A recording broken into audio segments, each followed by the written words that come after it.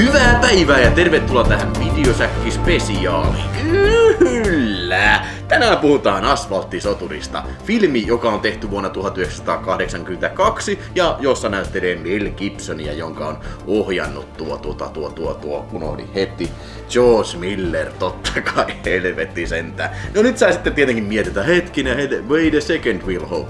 Tehän teitte jumalata hikisessä leffanörtessä pari vuotta sitten tämän arvostelun jo. Ja kyllä, siinä olet aivan oikeassa. Arvostelun linkki löytyy tästä jostain kuvan ylälainasta nyt, että tosiaan tehtiin aika kattava juttu sitten Karo ja Raulen kanssa sitten koska se nyt olikaan, mutta kuitenkin niin siis, mutta sen takia mä teen nyt tätä videoa, koska tuossa toissa viikolla, nyt siis anteeksi on pääsiäinen maanantai, öö, mikä palmu, mikä helvetin palmu, palmu maanantai nyt, jotain tämmöstä, öö, pääsiäisen maanantai, joka on yleensä vapaa päivä. Tätä nauhoittelen tähän aikaan nyt ja tuossa toissa viikolla kävi merkillinen tapahtuma tuolla mun livessä, kun mulla oli toi post-apokalyptiset äh, toimintaelokuvat, asfalttisoturin apurit niin sanottu, eli tämän elokuvan innoittamina tehtyjä elokuvia kävin läpi ja sitten siellä tuli tätä katsojien tämmönen niin sanottu huutokauppa siitä, että mikä on katsojien mielestä paras post-apokalypsinen Mad Maxin apuri-elokuva sitten. Ja tässä jaksossa, tai tässä ohjelmassa sitten, niin ää, Epis 313 ja kerran kaksi, muun muassa nämä aliakset sieltä, varmasti oli muitakin, anteeksi en kaikkia pysty, pysty tähän poimimaan, he äänestivät tätä asfalttisoturia, että se on paras, ja mä lupasin tehdä sitten tota, tästä sitten tota noin, niin, spesiaali, mutta myös tästä toinen kilpailukumppani tässä oli, se oli Dread, ja yhteensä 76 eurolla äänesti sitten Partaparonia Film Collection Dreddia, eli se oli eurolla enemmän kuin tämä asfalttisoturi, mikä meni sitten, niin, niin, niin lupasin tehdä näistä kummasta sitten, kummastakin sitten pienen spesiaalin spesiaaliin sitten. No okei, mitä mä tässä videossa sitten teen semmoista, että tää on jotenkin merkittävä video? No siis Tästähän on tehty vaikka kuinka paljon YouTube-videoita ja vaikka kuinka paljon niin on paljon parempia YouTube-tupaajia ja paljon parempia logittajien mielestä tehty, tehty niin arvosteluja ja analyysejä, joten mitä mä voin tähän uutta tuoda pöytään. Vielä tämä hikiste leffanörtti-homman lisäksi. No mä ajattelin, että mä voin lähestyä tätä niin suomalaisen sensuurin ja oman kokemuksen kautta sitten ehkä paremmin. Kenties siinä tulee asioita esiin, mitä ei välttämättä tullut siinä hikisten leffanörttien juttujen yhteydessä sitten. Ja tosiaan torstaina tulee sitten Parta Parone Film Collection ja muille kumppanille, jotka äänestävät Dreddiä sitten, niin tulee sitten torstaina si- siitä sitten spesiaali. Mutta nytten ensimmäinen post-apokalyptinen spesiaali tältä viikolta. Ja muistakaa lauantaina on sitten taas post-apokalyptiset toimintaelokuvat Asfalttisoturin apurit osa kaksi näytös. Että tässä, tässä oli tämmönen pieni tietopaketti sitten. Mutta Asfalttisoturi, pääsetäänpä Mel Gibson ja George Miller Estradille. Eli tämähän alkoi tämä elokuvan tekeminen about suoraan tämän jälkeen, Mad Max 1 jälkeen, joka tehtiin sitten 78 tai 79. 79 näkyy olevan tässä copyright. Mutta George Miller ei ollut kauhean tyytyväinen tähän ensimmäinen Mad Maxiin, koska se oli tota, kauheasti joutu kuulemma tekemään kompromisseja, koska rahaa ei ollut paljon paskaakaan. Ja George Milleria oli kosittu USAhan tekemään elokuvaa tämän elokuvan innottomana, tai suo, siinä niin CVssä oli tämä, mutta tota noin, niin oikeita skriptiä ei silloin löytynyt, mutta niin kuin sitten äh, pikkuhiljaa er-, heräs ajatus sitten tästä Asfalttisoturi kakkosesta, eli Road Warrior, äh, tai siis anteeksi, tässä vaiheessa Road Warrior ei vielä ollut, vaan se oli Mad Max 2. Ja sitten kun tämä tuotiin USA-saahan tämä Mad Max 2, niin silloin oltiin sitä mieltä, että tämä tämä, mikä oli, tota, tämä oli pienen yhtiön American Picture, AIPn levittämä USAssa, ja ne duppas tämän amerikkalaisella aksentilla, ja kukaan ei oikein nähnyt sitä, niin he sitten ajattelivat, että, että on parasta sitten markkinoida, ei Mad Max 2 tätä USAssa, vaan Road Warriorina, että siitä tulee nämä eri nimivariaatiot sitten jo. Niin se tuli sitten 82 ja oli se kohtalaisen suuri hitti. Ää, siihen asti suosituin australialainen elokuva, eli niille, jotka ei tiennyt, niin tämähän on Australiassa, Australi, Australiassa kuvattu ja myös niin kuin, siis australialais USA-lainen tuotanto sitten rahoitukseltaan tämä hirveä hitti.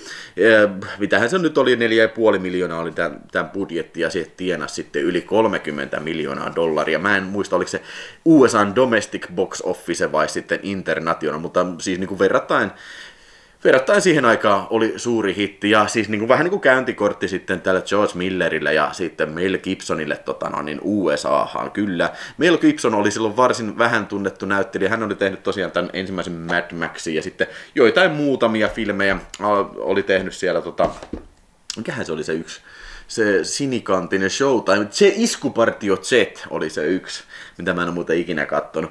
Niin jotain semmoisia sekalaisia, mutta ei mikään vielä mikään stara, mutta siis kyllä tämän, tämän leffan myötä sitten hänestä tuli sitten tämmöinen hyvin, hyvin haluttu kundi Hollywoodiinkin sitten jo. No, Mad Max 2 saapui sitten Suomen elokuvatarkastamaan. Mulla olikin computer-systeemi tässä, mistä mä voin tarkastaa näitä tietoja. Uh, Mad Max 2 saapui sitten suomalaisten elokuvatarkastajien käsiin uh, toinen 4. 1982 ja he pitivät tästä elokuvasta Suomesta niin paljon, että lätkäisivät KK-merkinnällä tätä tuotantoa. Ää, eli suomeksi tarkoittaa kokonaan kielletty, eli edes ikäraja 18 ei siihen aikaan riittänyt, vaan elokuvatarkastamon dudet ja muidut olivat järkyttyneitä, shokeeraatuneita siitä, kuinka väkivaltainen elokuva tämä on. Sitten tässä on seuraava maininta neljä kuukautta myöhemmin, 9.8.1982. Silloin tämä elokuva on jälleen kerran tarkastettu Warner Columbia Films Oyn ansiosta, ja silloin tälle on myönnetty sekä 10 prosentin rangaistusvero että K18 ikäraja.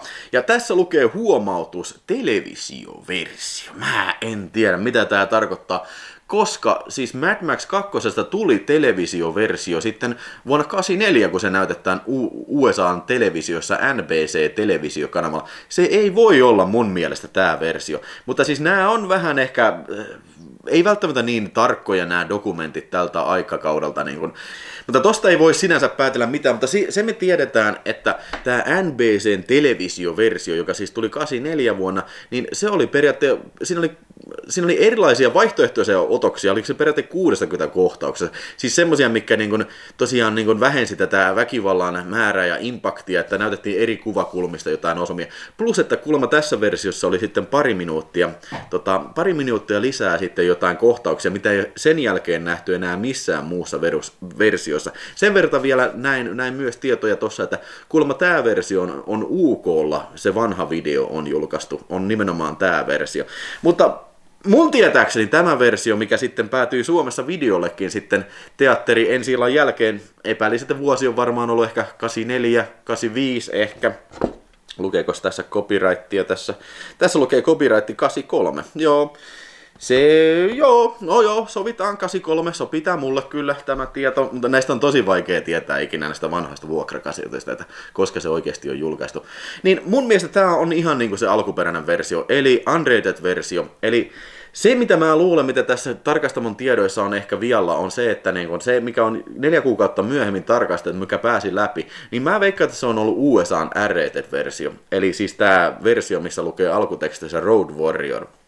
Uh, siitä on lyhennetty paria kohtausta. Se, kun se, tämä Bennett, eli siis Commandon Bennett, Vernon Welles, niin se, kun se repii sen niin kuin nuolen lähikuvassa, niin sitä kohtausta on, se on tota, niin, on lyhennetty. Ja sitten on tosi paljon, tosi, tai siis lyhennetty sitä kohtausta, missä Vernon Welles repii sitten kaveri, kaverin ottasta, kun se on heitetty sitä bumerangia, heitetty sen ottaan, niin se repii sen bumerangin irti. Niin nämä kaksi kohtausta on vain mun mielestä siitä R-rated-versiosta lyhennetty.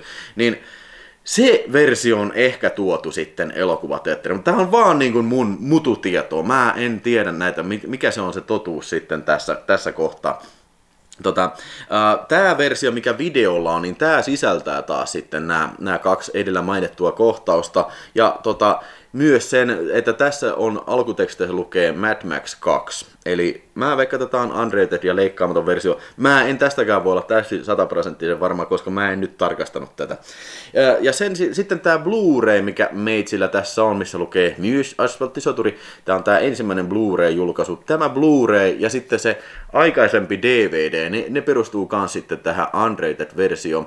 Mutta sikäli mikäli on oikein ymmärtänyt, tämä myyntikasetti videoversio, mikä on Suomessakin julkaistu, mikä mullakin aikanaan oli, ei ole enää ollut, niin se on R-rated-versio. Ja sitten kaikki muutkin videoversiot silloin 90-luvulla about oli näitä R-rated-versioita. Mutta sitten kun tämä Mad Max tuotiin DVDlle sitten tätä uutta hienoa digitaalista tekniikkaa, niin siinä se tuotiin sitten tämä alkuperäinen australialainen George Millerin versio. Ja jonkun tiedon mä luin muuten tuota Wikipediastakin, että kuulemma tätä filmiä leikattiin tosi paljon Australiassa, että se sai M, eli mature, itä, ikäraja suosituksen.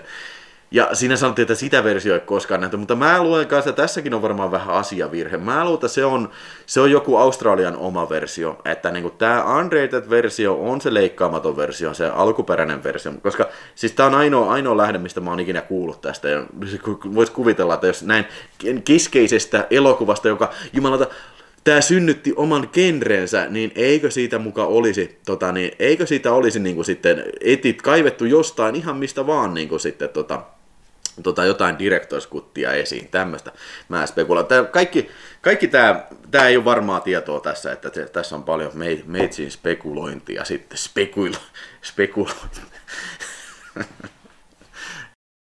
No, itse mä näin tämän leffan mun mielestä ensimmäistä kertaa. Se on tullut tota, tässä muuten kätevästi täältä Elonetista näkee tuon televisioesitykset. Niin mun mielestä mä oon nähnyt sen, kun se ekan kerran on tullut televisiosta, tai ainakin tämän mukaan, niin 80. Mikä muuten, by the way, ei olekaan. Niin 80.91 on tullut TV3. Ja mun mielestä mä näin sen silloin ensimmäistä kertaa. Ja olihan se huima vilmi. Siis semmonen Tämä on niinku tosi yksinkertainen filmi, mutta tämä on niin hyvin tehty ja tämä keskittyy niinku niin siihen oleelliseen. Tämä on niinku, tämä on niinku, uh, uuden ajan länkkäri. Ja tämä oli niinku justiin tämä juttu, mikä niinku muodosti sitten tämän genren sitten, joita käy sitten muun muassa ensi lauantaina taas läpi mun livessä. Näitä tehtiin sikana, näitä tehtailtiin vastaavia elokuvia sitten 80-luvulta, 90-luvulta, 2000 Siis ihan vielä tänäänkin päivänä, täh- tähänkin päivään asti niin nähdään kyllä asfalttisoturin Asfalttisoturi Legacy, tällainen toimintaelokuva kentässä kyllä. Ja siis tämän televisioversion jälkeen, niin mulla oli se pienikoppainen myyntikasetti. Se taisi olla semmonen, missä oli myös tää, tää jatko-osa, eli siis toi, tota, toi Mad Max Beyond Thunderdome, niin mun, jostain syystä se ensimmäinen elokuva tällä kasetilla oli huomattavasti enemmän semmoinen vilmi, mitä mä kattelin, kuin sitten se jatko-osa. jatko-osa kyllä. Niin, se piti vielä sanoa, että tästähän tuli, kun tuli se ensimmäinen DVD, niin tämähän oli surullisen kuuluisa tapaus siinä mielessä, että jostain syystä Warner Bros. toi sitten tänne Eurooppaan, tai siis toi Pohjoismaihinkin saksalaisen version, joka oli taas sitten FSK 16, mikä oli Saksan elokuvatarkastamon toimesta leikattu niin kuin, eh, varmaan viisi minuuttia, neljä ja puoli minuuttia, jos oikein muista. Ja oltiin niin kuin, että voi vittu, me ollaan just päästy omasta vitun sensuurista, nyt tulee nämä uudet DVD, niin kuin, tää on tosi hieno ju- kuva, että, hi- tosi hieno juttu, että me saadaan niin kuin, teeksä, hyvällä kuvalla nämä, terävällä kuvalla, widescreen kuvalla nämä, mikä on muuten Dean Semlerin erittäin hienosti kuvaama elokuva tämä. Niin mikä vittu siinä on, että saattaa, kun tulee parempi formaatti, niin sitten me joudutaan toisen maan sensuurista kärsiin sitten. Perkele! Silloin meinas mennä hermo saatana. Ja menikin. Mutta kyllä se mun mielestä tuli aika nopeasti. Sanotaan vuoden, vuoden sisällä tota, vuoden sisällä tuli sitten tämä leikkaamaton versio, tuli ihan oma skandinaavinen julkaisu, missä oli sitten nämä suomenkieliset snapper Se mulla muistaakseni oli sitten. Ja lopulta vei sen pois sitten, kun tuli tämä, tämä hommattua. Totta kai heti kun tämä ilmestyi, tämä asfalttisoturi sitten, tämä Blu-ray-versio. Ja tähän päivään mennessä ei ole vielä julkaistu tota 4K-versiota tätä, mutta varmaan joudun sitten pistään taas ostoshousut jalkaan, kun semmonen julkaistaan sitten jossain vaiheessa. Tuli vielä tuosta mieleen, että tuli pari vuotta myöhemmin tämä suomalainen DVD, niin miettikää sitä, että kun tämä on tarkastettu ensimmäistä kertaa valtion elokuvatarkastamolla mitä se oli toinen neljättä 82, niin neljä kuukautta myöhemmin se on vasta tarkastettu toisen kerran.